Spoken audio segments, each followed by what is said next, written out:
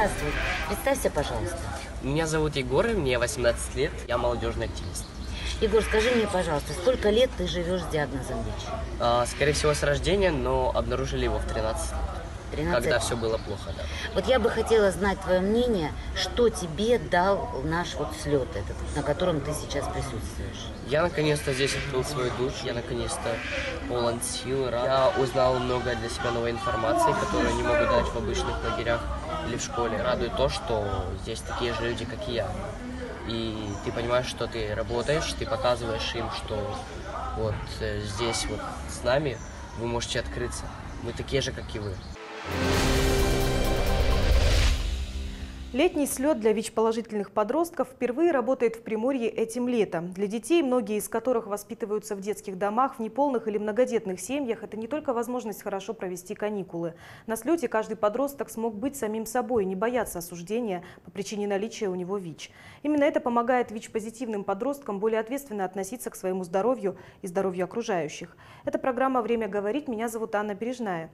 на студии сегодня Светлана Изамбаева, руководитель благотворительного фонда Светлана Светланой Замбаевой. Здравствуйте, Светлана. Здравствуйте. И Елена Войтовская, врач-психотерапевт Центра СПИД. Здравствуйте. Здравствуйте. Ну, я знаю, что, конечно, перед тем, как организовать слет, возникало немало сложностей, но с ними удалось справиться благодаря неравнодушным людям, коих оказалось очень много. Я думаю, сейчас стоит о них сказать. Да, конечно, мы когда задумали этот слет, а как вы понимаете, слет чисто благотворительный, потому что государство и так много делает в этом направлении, но это уже инициатива такая общественная. Мы обращались в очень многие организации, к сожалению, сожалению, многие нам отказали или просто отмолчались. И потом вот так сложилась судьба, нам какую-то сумму мы смогли собрать, но э, слет был под угрозой. В июле месяце слет был просто под угрозой, потому что мы не набрали даже половины той необходимой суммы для организации этого слета. Ну и потом на наше счастье нам встретились две удивительные девушки, которые взялись, как говорится, за дело. И мы вот когда шли сюда, мы думали, может быть, поблагодарить конкретно там каждого, но это просто невозможно.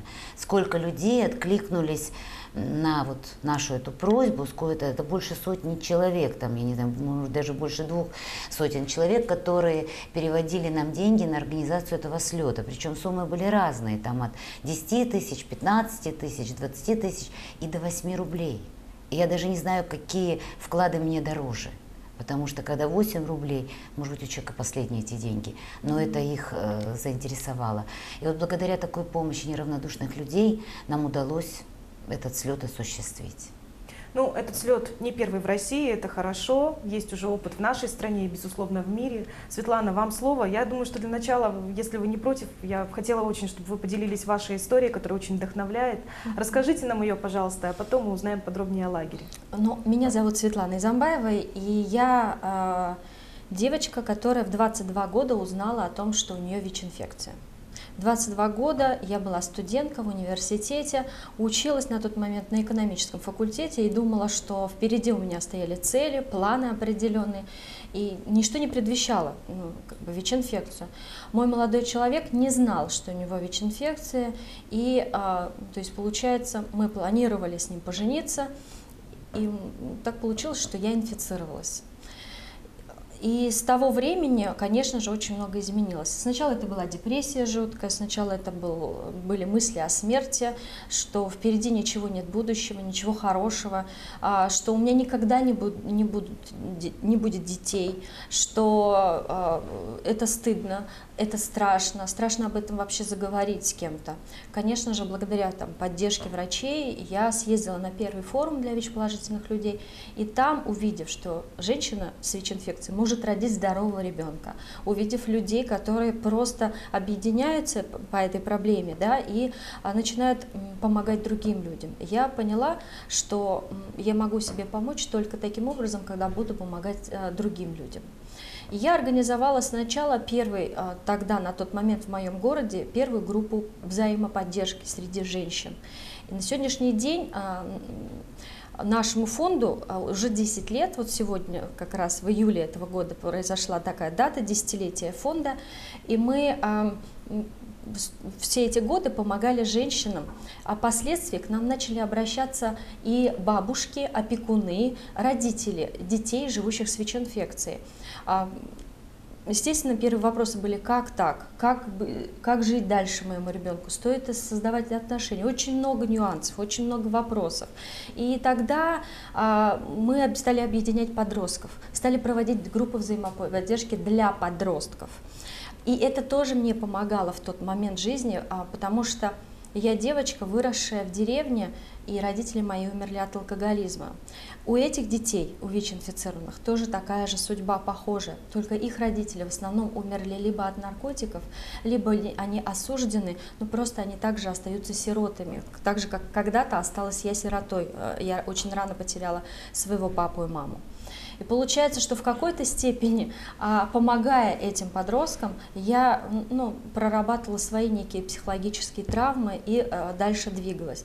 И самое удивительное, когда мы начали объединять подростков, а, сначала у себя в городе, они стали рассказывать свои планы и цели, идеи, создали первую книгу, да, а, где дети сами рассказали свои истории. Одна подросток, девочка, 14 лет, ее зовут Елена, Лена, она просто сказала, я бы так хотела, чтобы мы объединялись не только вот нашим городом, но и со, с, с подростками из других городов, возможно, из других стран.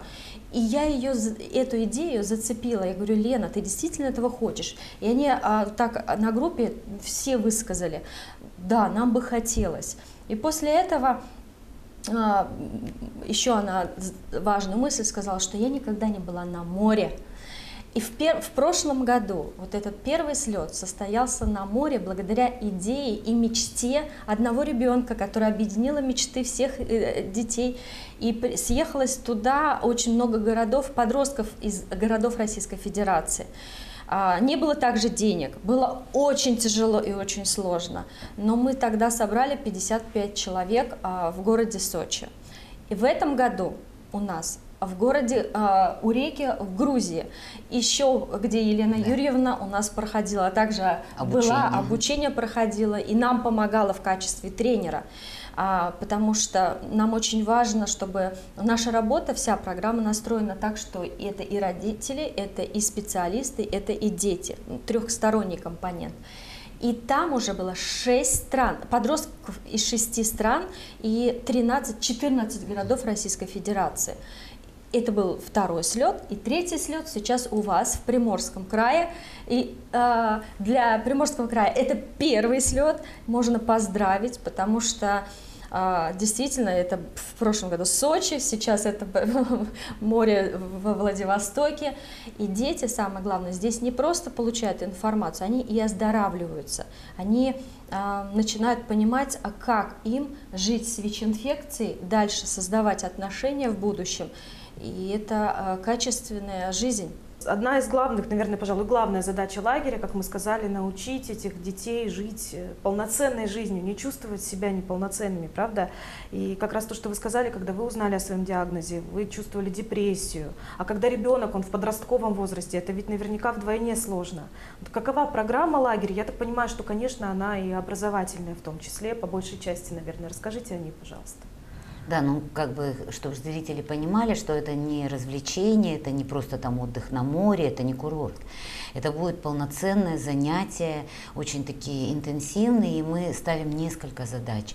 И приглаша... пригласили мы на этот слет не только подростков, а мы пригласили их родителей, потому что, к сожалению, проблема заключается, вот ребенок-родитель, да, это и принятие своего диагноза, это умение жить в обществе, это безопасно вести себя в обществе для общества, да, и самая главная цель – это лечение, потому что лечение у нас пожизненное, лечение, требующее высокой самодисциплины, вспомните все себя – и себя подростками. Да? Это вот очень большая проблема. А если наши подростки не будут правильно лечиться, это, ну, во-первых, это и риск для их партнеров, а самое главное, их гибель. Вот. И для того, чтобы они жили, и жили полноценно, и создавали семьи, но и в том числе не были опасны для своих партнеров, необходимо правильное отношение к лечению. Просто скажи, пей таблетки, это не работает, это мы уже знаем. А вот когда мы на этом слете, там применяются разные там, технологии, игровые, психологические и так далее, они прорабатывают это все, у них совершенно меняется отношение к своей жизни. Вот и название, все просто, потому что каждый сидит и думает, что за название, все просто, да? На самом деле, как сложно, как страшно. И Света вам сказала, что и депрессия, и страх, там, отверженность, жить с этим диагнозом.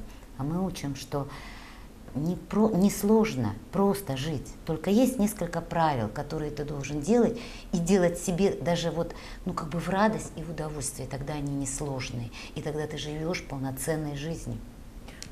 Но не так просто справиться да, да, конечно. со страхом, а, виной, обидой внутренними вот этими переживаниями психологическими а, подростку.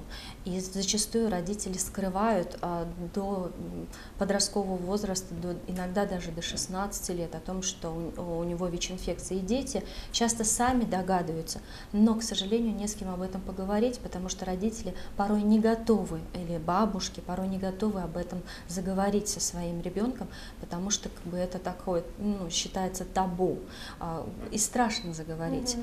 И тогда получается, что во время слета мы об этом впервые открыто, свободно а, начинаем говорить и с родителями, и с подростками. И специалисты в это время видят на самом деле, как просто и как легко, потому что все игровые, все упражнения в игровой форме проходят через игрушки, через э, рисование, через карты.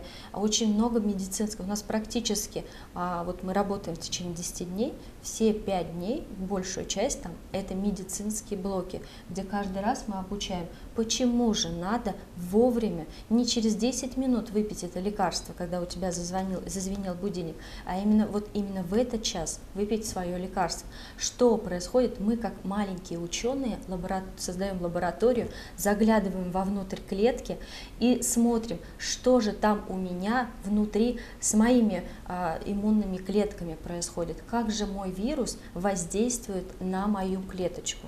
И это очень интересно и познавательно, поэтому они выходят оттуда даже будущими биологами, возможно, учеными, потому что многие говорят, я хочу изобрести лекарство, я хочу помогать другим детям, я хочу стать психологом, я хочу стать врачом. Многие ребята там именно познают о том, что, что бы они хотели. Более того, у них есть возможность общаться друг с другом, да. делиться своими проблемами с такими же детьми, да, которые, может быть, где-то кому-то боялись рассказать о себе. Я так понимаю, что это тоже очень это... важная составляющая. Да. Вы знаете, я часто наблюдаю такой момент, вот я спрашиваю, когда детей, а кто-то знает о твоем диагнозе, ну, кроме мамы? Нет. Мы не говорим друзьям, но мы не за то, чтобы они шли и рассказывали. Но дело-то не в этом. Они не говорят, но они себя самоизолируют они себя закрывают в этот кокон. А здесь они знакомятся с ребятами, они начинают общаться, и они да, освобождаются вот от этого кокона, понимаете? Они начинают дышать свободно. То есть это не значит, что мы их на слете стимулируем там идти и рассказывать всему классу. Нет, об этом даже не стоит речи. Но их самоощущение меняется. И вот еще очень важный компонент работы на этом слете не только дети – но и родителей. Mm-hmm. Потому что психологические проблемы родителей – это и чувство вины. А если это бабушка, это потеря мамы, которая была дочкой, это все есть. И здесь бабушки и мама, они, и даже когда там папа иногда участвует, они сами раскрываются, они сами начинают по-другому воспринимать. У них с детьми налаживаются отношения, и это очень важный момент. И это очень правильно сказано, потому что это профилактика, получается, депрессии, впоследствии возможного суицида. суицида. И а, это, это работа на будущее человечества потому что дети – наше будущее. И если, к примеру, в семье есть а, полноценные отношения, они могут говорить, мать ребенка или бабушка ребенка, о таких сложных вещах, то тогда впоследствии он знает, что дома есть родной человек, с кем я могу поговорить о тех сложностях, которые произошли на улице. Потому что если, к примеру, дома я даже о ВИЧ-инфекции своей не могу поговорить, то тогда зачем я буду говорить о тех проблемах, которые у меня есть на улице? А здесь а, это а, научение коммуницировать очень важной мамой. составляющей с той же мамой, с той же бабушкой. Это профилактика суицида подросткового. Сколько на сегодняшний день именно в Приморском крае ВИЧ-положительных подростков? Ну, не подростков, у нас детей родилось, в общем, за все это время там 111 человек, подростков у нас 80 с небольшим, там 89, по-моему, подростков. Сейчас вот э, маленькие остальные дети. То есть это вот те первые дети, которые родились еще в 2000, 2002, 2003 году. Но в России более 10 тысяч таких подростков. И, к примеру, если здесь ситуация, как у нас в Татарстане, как бы сказала, там 111 да. детей, у нас в Татарстане 156 ребенок, к примеру, да, то взять Иркутскую область, там более 600 детей. И если учитывать этот фактор, нельзя говорить о том, что ну ладно, там мало детей. Нет, на самом деле детей достаточно много, потому что это многокомпонентная работа. Это работа со всей целой семьей. А что касается людей, вот, э, которые не сталкиваются с этим, ведь общество очень серьезно относится к этой проблеме в том плане, что они... Вообще, во-первых, есть очень много мифов, мы просто не знаем очень многого, mm-hmm. да, во-вторых, действительно серьезные мифы в том плане, что они боятся. Почему, собственно, боятся дети говорить, да, потому что я читала многие истории, которые вы, в частности, mm-hmm. публикуете, о том, что я кому-то рассказал, и все. И моя жизнь изменилась резко, кардинально, со мной меньше общаются. Насколько я понимаю, именно вот эти слеты, ведь они уже проходили, они меняют качество жизни со временем таких людей, правильно? То есть они все равно уже не боятся об этом говорить, соответственно, информируют сами же население, и население уже идет навстречу. Вы знаете, Аня, вот вы такой вопрос задали, и я как бы не сказала, когда мы благодарили людей, которые нам помогли, но интересно, когда мы собирали эти деньги, когда у нас появились вот эти две волшебницы, это две просто блогерши, такие да, бьюти-блогерши, угу. вот, которые вообще далеки от мира медицины, уж тем более СПИДа, да. и, наверное, никогда они даже об этом не задумывались. И вот мы получили уникальный, уникальный совершенно результат. Это не только деньги, благодаря которым мы осуществляем все, что задумали, и даже больше. Да. А на страницах у этих девушек пошли отклики. И в том числе были отклики, как вы говорите, там отрицательные, какие-то агрессивные. И как девчонки эти отвечали. То есть это не врачи уже, это там не какая-то умная психолог, которая как бы защищает свою тему. Это просто девушка, которая занимается... А это сообщество. Да. Это сообщество девушек там или женщин, или там взрослых, которые живут вообще в каком-то своем мире. Их больше интересует там фитнес, визаж, что-то. больше, да. И вдруг они услышали и начали интересоваться. Понимаете, это очень важно. И как когда они для себя, от авторитетных для себя людей, да, услышали, ты что, ты возьми, почитай, прежде чем ты боишься. Вы знаете, ну, мы благодарны им очень-очень вот даже вот за этот эффект. То есть сегодня в Инстаграме прямо поднята такая тема. Мало волна того, такая. Волна, да. Мало того, стали писать открылись люди с ВИЧ-статусом, которые стали нам писать, вопросы задавать. Они сидели до этого молча. А Опять же стали... боялись. Мне лично да. стали писать именно благодаря этим девушкам, как же так, там, в Прим... да. я вот живу в Приморском крае, я бы хотела с вами встретиться, люди хотели, ну, узнав, что я приехала, хотели даже встретиться, поговорить, потому что для многих это возможность а, через а, мою жизненную историю увидеть себя в будущем, возможно, как жить без страха с ВИЧ-инфекцией, в плане того, чтобы даже, а, потому что в первую очередь человек с ВИЧ, он сталкивается с внутренним страхом, внутренним, внутренней стигмой. И он закрывается, вот как Елена Юрьевна сказала, в свой кокон. Он прячется от мира. У меня очень много случаев, когда люди сами увольняются с работы, к примеру, или переучиваются на другую профессию. А, Причем я, им никто ничего не да, говорит. Якобы просто я не могу работать физиком, а, учителем там, физики, я просто пойду бухгалтером теперь, потому что у меня ВИЧ-инфекция. Ну, так же, как и я, когда начинала впервые в жизни а, работать в спеццентре, мне говорили, вы знаете, нас надо застрелить. Ну, то есть даже такие моменты моменты были. То есть очень большая, сильная самостигма, самовнутренний страх. И у этих детей, и у этих родителей такая же история. И получается, что благодаря этим девушкам мы эм, реализовали две огромные профилактические кампании. Одна кампания – это вторичная, работа уже с ВИЧ-положительными семьями, работа с ребенком – это работа с целой семьей. И вторая кампания – это работа на профилакцию, на то, чтобы а, женщины, которые… Ну что мы всколыхнули да. вот это просто людское mm-hmm. сообщество хотя бы на то, чтобы поинтересоваться.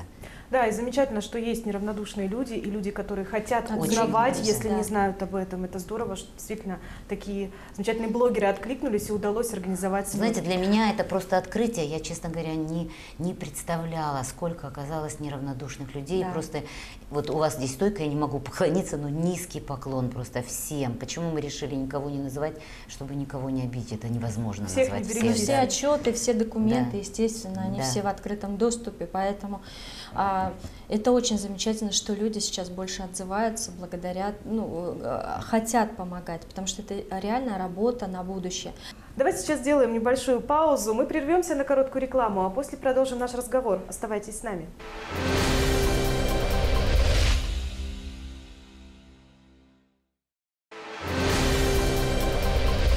А мы продолжаем наш разговор. Светлана, э, очень важный вопрос, мне кажется, который расставит точки над «и» окончательно. Такие слеты работали в других городах России, как я говорила, и в мире. Так вот, каковы результаты уже этой работы? Я думаю, что можно подводить некие итоги. А, да, в Великобритании проходит уже 10 лет такой слет, у нас в России, получается, это третий. И какие результаты его? Ну, к примеру, если про наши да, говорить, а те дети, которые приехали в Сочи, закрытые, зажатые, скованные, не умеющие про это вообще ничего разговаривать, то на сегодняшний день а, мы знаем, что вот подросток из Ростова уже проводит а, в нескольких детских домах и в нескольких школах, он попросил свою маму, он сказал о том, что я бы хотел проводить тренинги не раскрывая своего статуса, он просто рассказывает о ВИЧ-инфекции. И мама ошеломлена, она говорит, как из зажатого, закрытого, не говорящего парня вы сделали свободного, раскрепощенного, умеющего контактировать даже со сверстниками старше его. Даже на публике. Даже на публике. Получается, ребята из других городов так, та, такие же отзывы. Есть подростки, которые, к примеру, планово ложатся в стационарное лечение. И они сталкиваются с подростками с таким же диагнозом. И вот а, к нам приходили сообщения и отзывы от ребят о том, что вы знаете, я рассказал вот, этому, вот этой маме этого ребенка о том, том, как важно пить таблетки. И мама мне написала уже в соцсетях о том, что что вы сделали с ребенком? Он все так умело мне рассказал о ВИЧ, я тоже хочу, чтобы мой ребенок поехал к вам на мероприятие, к вам на слет. То есть ребята именно, они становятся то есть а, тема а, обретения силы. Они обретают силы идти дальше, двигаться и быть свободными. И это, конечно же, поможет им в будущей жизни, в будущей профессии. Более того, это помогает останавливать распространение да. болезни. Это тоже очень важно, да. потому что чем больше мы знаем, тем, так сказать, мы больше вооружены в этом да. смысле. А, про Приморье, конечно, не могу не спросить, все-таки насколько важен для нас этот ну, слет? Для Приморья он вообще архиважен, потому что, во-первых, послать кого-то из наших детей, вы сами знаете, как трудно из-за стоимости билетов, да, и нашей отдаленности. Но у нас и сам Приморский край такой огромный, что из Лучегорска нам надо ехать до Владивостока столько, сколько ехать до, лететь до Москвы. А дети наши разбросаны по всему Приморскому краю. И когда они приезжают там с какого-то другого города, спеццентр, им надо посетить педиатра, и порой им там не до психологических каких-то встреч или не для, до групп взаимопомощи и так далее. И это очень сложно. И вот, чтобы наладить эту коммуникацию, чтобы с ними проработать психологически, этот слет просто, ну, вы знаете, он кричал, как он был нужен для нашего Приморского края. Вот, и чтобы собрать как-то и родителей подтянуть и так далее. Ну, вот сегодня не погода, и у нас, к сожалению, опять же из-за наших вот таких условий у нас там двое детей не приедут. Мы очень расстраиваемся. Ну, Каждый что... ребенок для нас очень важен да. и ценен. Вот, и мы вот прямо за каждого ребенка дрожим, это важно для наших детей. У нас таких детей достаточно много, и я еще раз говорю, послать куда-то это очень проблематично. Вот поэтому для нас этот слет просто он ну, очень необходим, очень необходим. И еще именно в этом возрасте, в подростковом, они чаще всего узнают про свой ВИЧ-статус. И это тоже для них важно увидеть таких же, как и он. Потому что впоследствии да. это их жизнь mm-hmm. полноценная. Ну, во-первых, если они пьют лекарства, вот тут, понимаете, тут выгода обоюдоострая как бы и ВИЧ-инфицированного подростка, и, и простого общества. Он пьет лекарства, он становится не опасен. Значит, защищенное общество. Он все знает, он свободен внутренне, значит, он никогда не проявит агрессию, и он не поставит кого-то в условия не заражения. Обозлится. Да, это ведь, это, ну, если уж не будет суицида, он вообще себя сохранит как социальная единица, начнем с того. Он пойдет учиться, работать, это и значит это наши трудовые, выгода, да. трудовые резервы, понимаете, о которых сегодня говорим, что у нас на пенсионеров не хватает работающих. То есть тут обоюдо выгода со всех сторон не только подростка. Мы не только о нем беспокоимся, но мы беспокоимся о всем да. обществе. И в подростковом возрасте чаще всего они бросают лечение, потому что худо-бедно, а если ребенок не знал, например, до 10-11 лет, как-то родитель контролировал, этом, да. или манипулировал какими-то способами выпить лекарства. Но в 11-12 они нет, я не буду пить лекарства, зачем они мне нужны? И получается вот в этот момент, если ребенок не знает, насколько важно ему своевременно пить лекарства, то это впоследствии последствия кучу других заболеваний, потому что присоединение других инфекций. И получается, что тогда, тогда экономически выгодно, чтобы ребенок пил лекарства, потому что если он не будет пить, то это еще нужно лечить и пневмонию, либо туберкулез или еще другие герпесные проявления, которые появятся. И это еще дополнительные деньги для бюджета.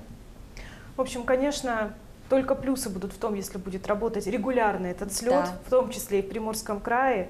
А, пусть так и будет. Я хочу пожелать вам поддержки всесторонней, которая вам очень нужна.